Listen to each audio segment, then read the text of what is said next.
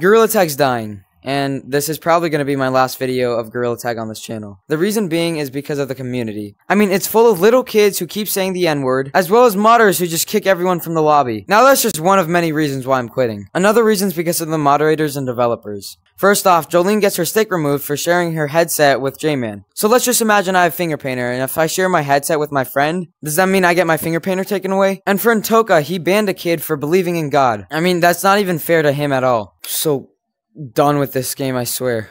Also, sorry if I lag anytime during this video, my computer's being really bad. Going on to the third reason is the maps. I mean, look at City now versus then. Pretty big difference, right? The store has been completely changed and it's absolutely trash now. The cosmetics are terrible, as well as the maps that don't really serve a purpose. I mean, for example, Arcade.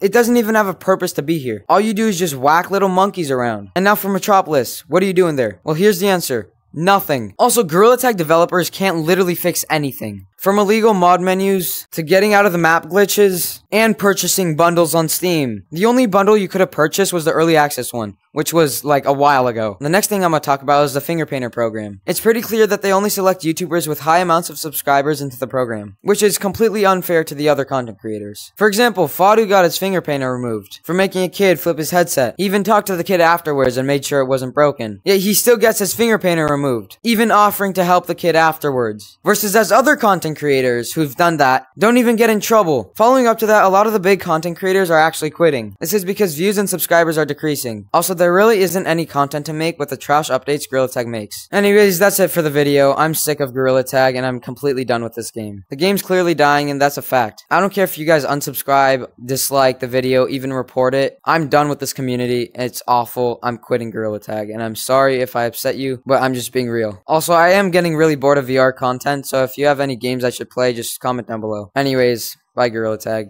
Goodbye.